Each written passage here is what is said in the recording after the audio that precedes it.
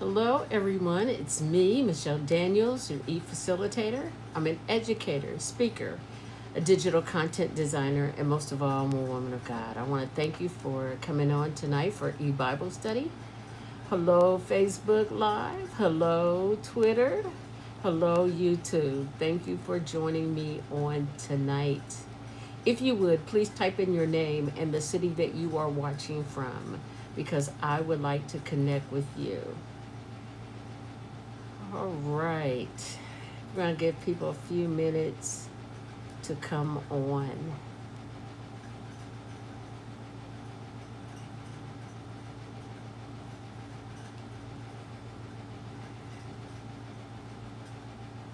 Again, please type in your name and the city that you are watching from. I want to thank those of you who uh, donated and got the ebook. I appreciate you. Appreciate you. I appreciate you. It is loaded with a lot of good information. Um, it's not just my teaching notes, it's everything that I have gathered on witchcraft. And it makes excellent teaching material um, for those of you who would like to do a class of your own.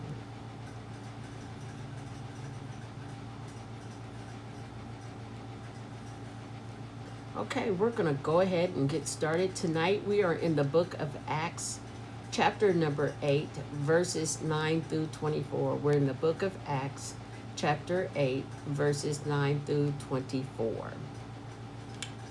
So last week we talked about mediums, and this week we're going to talk about sorcerers. And yes, one is apples and the other is orange um, oranges, but nonetheless, uh, they're all in the same family. They're all fruit, okay?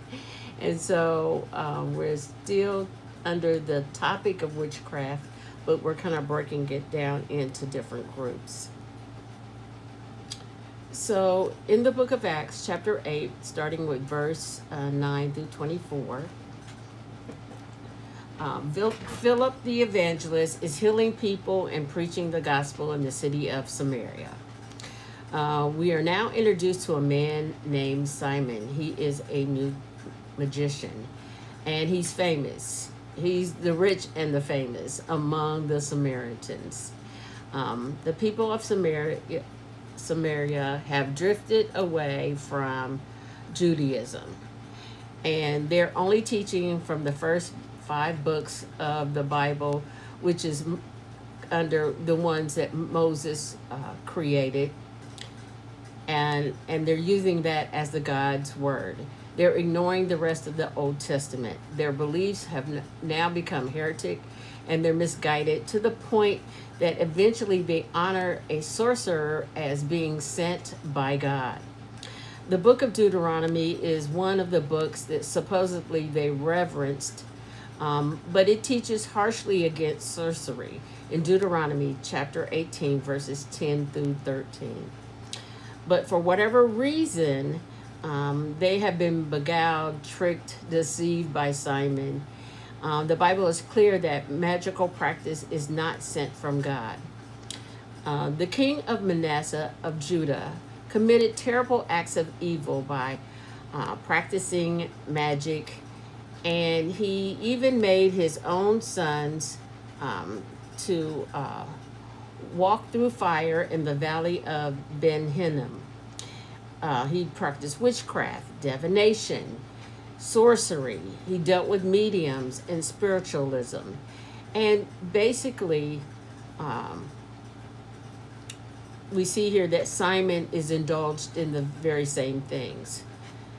Now, he did so much evil in the sight of the Lord. We're talking back about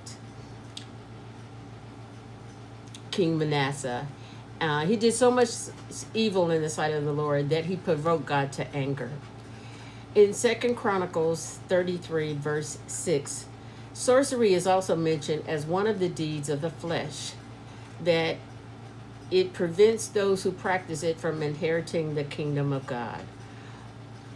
Now, in Galatians chapter 5, verses 19 through 21, every Samaritan, all, from the smallest to the greatest, were given attention to him, Simon, from the beggars in the street to the very wealthy, from children, even the elders. Everyone reverend Simon for his great acts, um, and he was he even called himself um, the Great One. wow, wow. So um, now there was a big difference between some, the city of Samaria and Jerusalem. They were in great contrast. Despite her rebellion and unbelief, Jerusalem was not affiliated with superstition and they did not adhere to any sorcery. Um, this is found in John 4, verse 22. Um, now, in ignorant religions, superstition and magic tend to prevail. But where the truth is known, even if it is not obeyed, it tends to drive these things back into the shadows. Hence, the verses show that um, spiritual darkness in Samaria was off the hook. And the dissolution knew no bounds of class or status from the least to the greatest. It had proven itself to be enduring and lasted for a very long time. Now, in the book of Acts, verses 12 through 13, um, here we see, we're still in chapter 8, here we see most striking the liberating power of the gospel. The kingdom of God was used uh, and taught from, and the name of Jesus Christ is mightier than the kingdom of darkness or any earthly name, and in this case, Simon's. Um, when they believed, as Philip preached, the things concerning God and in the name of Jesus Christ, both men and women became baptized. Baptism was a decisive step for these Samaritans um, in renouncing their former superstitions and linking them to their past. Moreover, only were not only were the deceived liberated, but so was the deceiver himself, Simon. He believed. His experience with the truth of God was no different from the others, for he too believed and was baptized.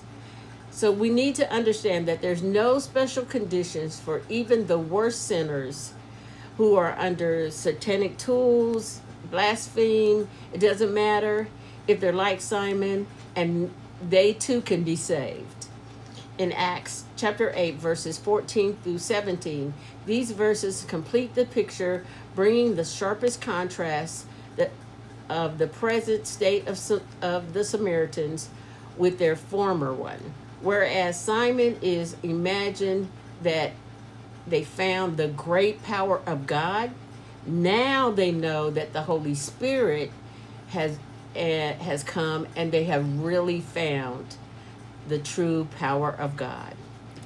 And whereas they had given heed to Simon's deceit, now they possess the one of, of one to whom by giving heed they could be taught the things of truth found in First John chapter 22 in First John chapter 2 verse 27. The Christians find true deliverance from both satanic power and delusion by the indwelling of the Holy Spirit found in 1 John chapter 4 verse 4.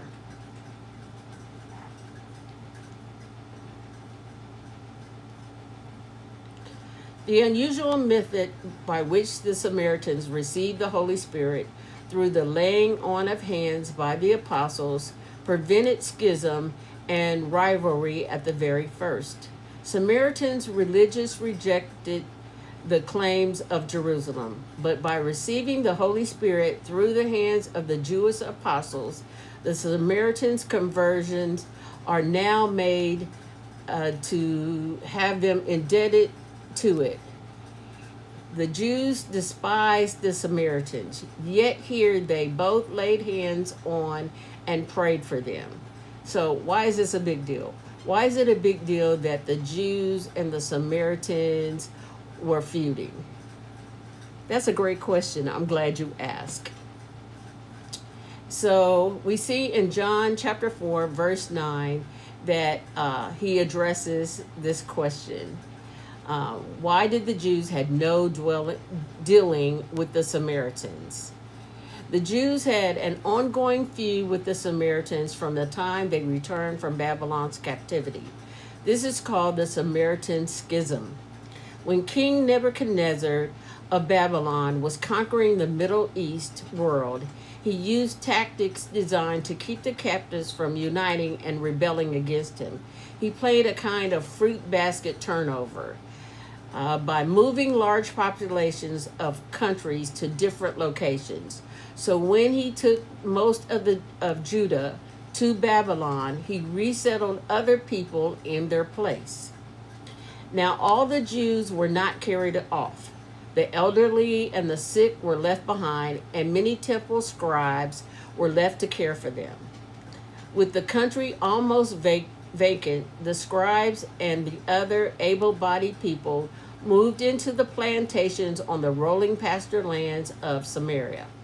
They intermarried with those who had been brought in, so that the Samaritans were no longer considered a pure Jewish race. Babylon and the Samaritans came to help to rebuild Jerusalem. The Jews called them half breeds and sent them back to their homes. So the Samaritans built their own temple, which the Jews considered to be a pagan temple. Um, the feud grew, and by the time of Christ, the Jews hated the Samaritans so much so that they would cross the Jordan River rather than to travel through Samaria. But in John 4 and 4 says Jesus had to go through Samaria. Samaria. Why? Because he had a divine appointment with a woman there who later said she believed when the Messiah came, he would teach her all about God. Later, to shame the Jews for their prejudice, Jesus made the main character of one of his parables a good Samaritan in Luke chapter 10. And one leopard of the 10 in Luke 17 who returned to thank Jesus was a Samaritan. So, on a side note, the scribes later became so wealthy that they hired servants to copy the scrolls. They became the lawyers who interpreted the law of Moses, and they gave Jesus much opposition. So this is why they always feuded. This is why they did not get along. And that's why Jesus had to go to Samaria, to Samaria um, because he had to reunite the Jews. Um, and this whole mentality about them being half breed, um, because Jesus came for everyone. Now, it's it's good to know that the spirit had been given to the Samaritans. If if this if the spirit of God had been given to the Samaritans exactly as it had in Jerusalem, this fact might have been distorted to prove that the Samaritans' error of downgrading the place God had put his name. But due to the wisdom of God, it, it, it prevented all of this, and the Holy Spirit brought salvation and unity. Typically, we might suggest that Simon is a prefigure of the man of sin, who is likewise will claim to be someone very great, found in Second Thessalonians chapter 2, verse 4, which supports his claims by miracles in Second Thessalonians 2 and 9, and in Revelation chapter 13, and will be an object of wonder and aberration of the world. As the ignorant worshippers of Samaria in John chapter 4 verse 22 begot Simon begot Simon. So the ignorant perversions of Christians truth by the world would be ultimately produce the man of sin in the last days. And how many of you know that? So he he's already been born. We don't know what age he is, but he is he's he's in development, and it won't be long that he'll be bursting on the scene. So praise God. Hopefully, we will be gone in the, the rapture. We won't be here to see it. But those who are left behind are going to see the man of sin. So in Acts chapter 8, verses 18 and 19, Simon is truly saved. It does not give Simon's words, but the words of Luke under the Holy Spirit's guidance. Simon himself also believed. That's what it says. Yes, he was a new believer. And like many other new believers do, Simon brings his into his Christian life the erroneous outlook of his past. You see, we are saved through repentance and belief. But transform transformation does it happens in a process. So let me say that again. We're saved through repentance and belief, but you have to first believe. When you hear the gospel, you have to believe that it is the word of God. You have to first believe. Then you repent. Make confession with your mouth. We always say, make confession with your mouth and believe in your heart. You have to believe in your heart that the words that you heard are the gospel, that they're the words of God. You have to first believe. Then you can confess your sins and be saved. Okay? And so, in order to transform, to change, your mind has to be renewed by the Word of God. And that takes time. It's you're born again. So you, you it's it's a new birth. You don't know the things of God. You have to learn the things of God. And so that takes time. So in our story, Simon offers them money. Doubtless that in the past money could have secured an experience of Simon's powers. So he naturally thought he could also secure God's powers.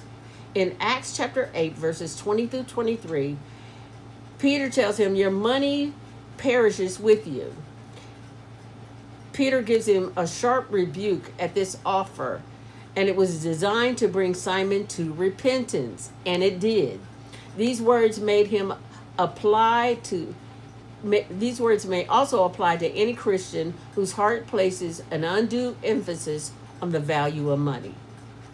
So now let's get the one thing straight. We live in a system that requires us to have money. Okay?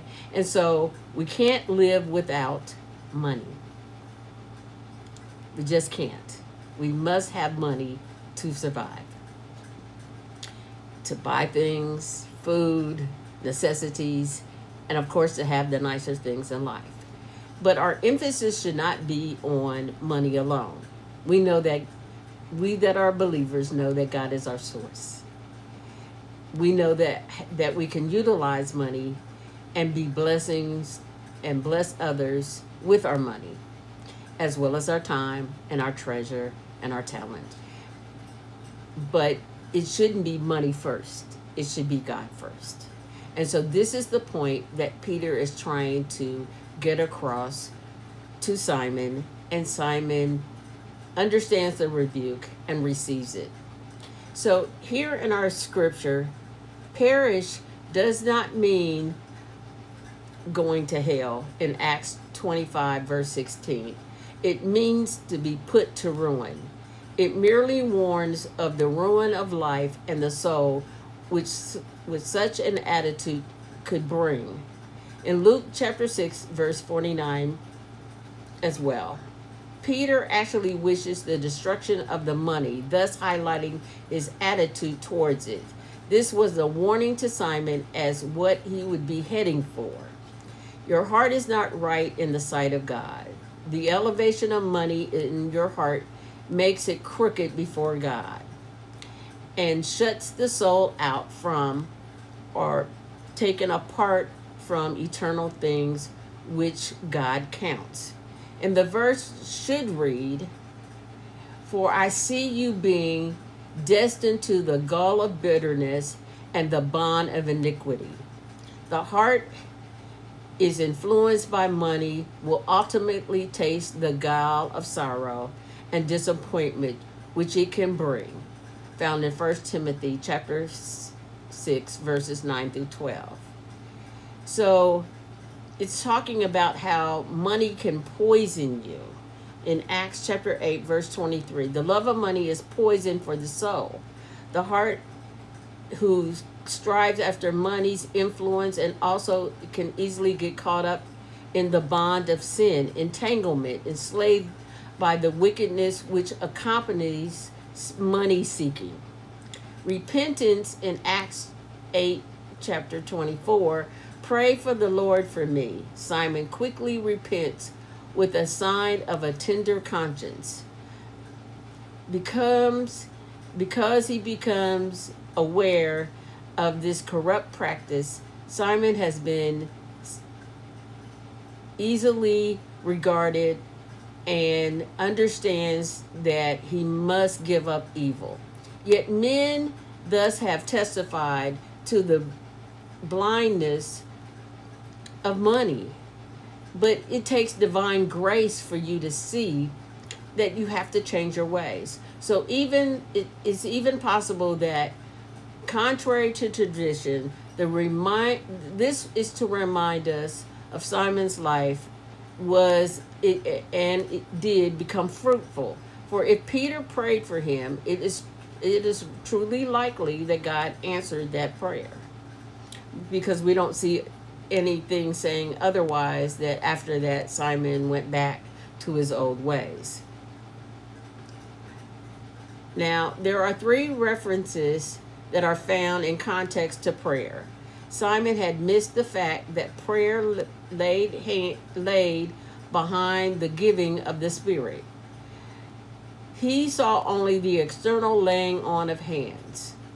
So, you know, he didn't understand that the uh, that Peter and Philip had a prayer life. They prayed before they got to Samaria. Uh, they prayed for people's salvation. They prayed for what they should say uh, to the people. All they saw was them laying on hands and people got saved. People got baptized. And so he didn't understand the spiritual things. And so money has a way of blinding one in a prayer from their prayer life because they don't pray. They just going after money. While the heart is controlled, when the heart is controlled by prayer, it blinds us to money. So, like I said, we know that we need money. That's part of the system that we live in, but that should not be our focal point. Men usually feel that money can can obtain most of what they want or need, as Simon had did in the past. The man of God realizes that prayer alone can obtain what is really needed and what is worthwhile. Simon is brought to the realization of money in comparison to the things of God, and that the money, uh, that the spiritual things have to transcend um, what what money can only buy. That spiritual things are important to the soul, and he begins to seek to buy the power of God. But then at the end of the story, he realizes that he needs prayer. So he understands the reality of prayer in his life. So this is what all I have on sorcery for tonight. Um, please go back and read Acts chapter 8, verses 9 through 24 for yourself. Um, like I said, mediums and sorcery, they go hand in hand because they're they all fall under witchcraft.